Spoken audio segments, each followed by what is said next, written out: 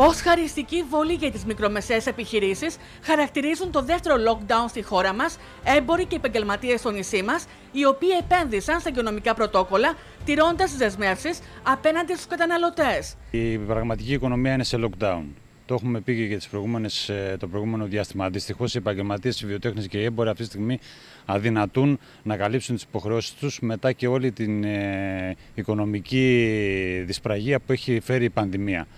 Ε, σίγουρα ένα lockdown αυτή τη στιγμή θα είναι καταστροφικό για την οικονομία. Ζητήματα επιβίωσης του κλάδου θέτει ο Μανώλης Κουμαντάκης με φόντο τη δραματική κατάσταση που επικρατεί στον εμπορικό κόσμο. Αλλά όχι να κλείσουμε ε, την ε, αγορά, να κλείσουμε την οικονομία.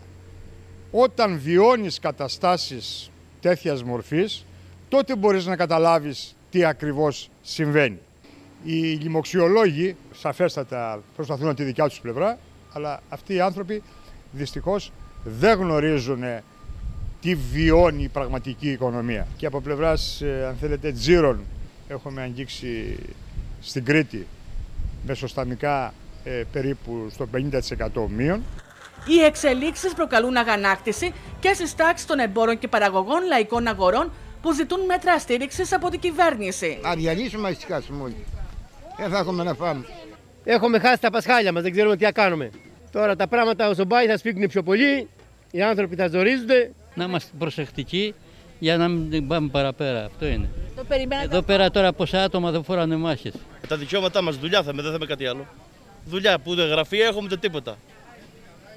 Από τις τρεις τα ξημερώματα είμαστε εδώ να βγάλουμε ροκάματο. Να πέσουν λεφτά. Υπάρχουν λεφτά; Υπάρχουν λεφτά για, για τα λεφτά υπάρχουν για τα σφαίροντα, δεν υπάρχουν για του μικρούς. Καταστροφή από την αρχή. Να προσάγαμε από την αρχή. Τα μέτρα να περνούνταν πιο εύκολα, πιο γρήγορα, πιο σωστά θα ήταν. Τώρα, όχι για την Κρήτη δεν το περιμέναμε. Μα κακώς μπήκε στην Κρήτη. Θα μας καταστρέψει πάλι. Πρέπει ο πρωτογενής τομέας να δουλεύει. Πώς αλλιώς τα προϊόντα μας θα πετάξουμε. Στο πρώτο lockdown υπήρξε στήριξη στο κλάδο σας; Δεν υπήρξε στήριξη.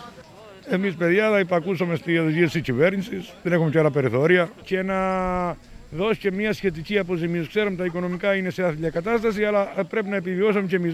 Η πραγματική οικονομία είναι σε lockdown, τόνισε ο Χαράλαμπος Γλεκάκη, ο οποίος αναφέρθηκε στη δραματική μείωση έως και 80% στους τζίρους των επαγγελματιών σχεδόν σε όλους τους κλάδους το τελευταίο χρονικό διάστημα. Ίσως θα έπρεπε να έχει γίνει και πιο νωρίς, να έχει γίνει το lockdown για να αποφύγουμε τις δυσμενεί οικονομικές επιπτώσεις που θα έρθουν μετά. Το lockdown θα είναι καταστροφικό για τον χώρο της εστίασης, δήλωσε η Μαρία Ντονακάκη, η οποία περιέγραψε την ασφιχτική κατάσταση που βιώνουν από τα συσσωρευμένα χρέη του πρώτου lockdown.